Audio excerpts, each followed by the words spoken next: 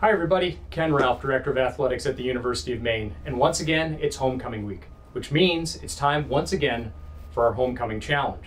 This is something we do every year, and we rely on your support to help create great experiences for our student athletes.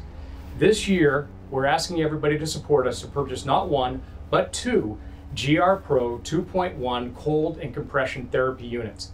These units are to help our students recover from practice and competition and are a big element of keeping our students safe. We need your support. We need everybody to step up here at Homecoming. There's an easy way to give by getting online and clicking the link, or you can text Black Bear to 44321. Again, that's text Black Bear to 44321. And thanks once again for coming through on Homecoming Challenge.